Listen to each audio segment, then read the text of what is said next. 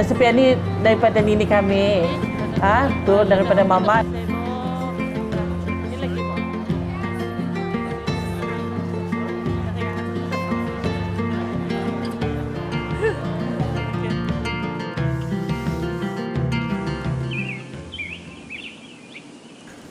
Biasanya kalau anti memasak soto, persiapannya dua hari lah.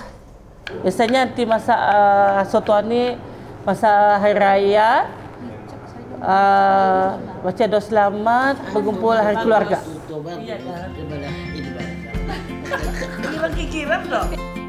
Biasanya kalau orang datang acara macam ni, uh, baca doa selamat ni dalam 100 lebih orang ke 200. Setiap macam setiap kali ada acara mesti ada soto. Tapi kalau tidak ada soto mesti kadang-kadang tanya. Mesti kecarian soto ni kan? Mesti wajib. Ada this one so sekarang kira macam it's my tanggungjawab this is anugerah lah actually. So kira kalau ada purpose so kami punya family ada lagi rasa yang family punya soto tu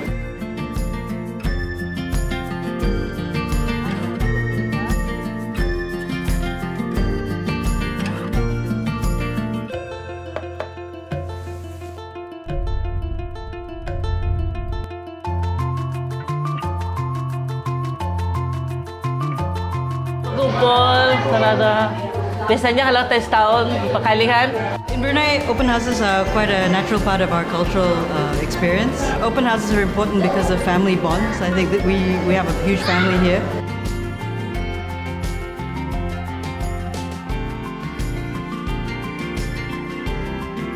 biasanya kumpul sama keluarga mengembirakan hati kami adik-beradik, baibon, bergalak ketawa macam mana kan.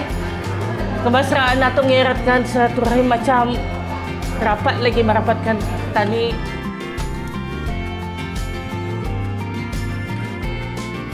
So my favorite dish, at, at uh, which is what this family is renowned for, is our Bruneian soto with all of the condiments and all the trimmings.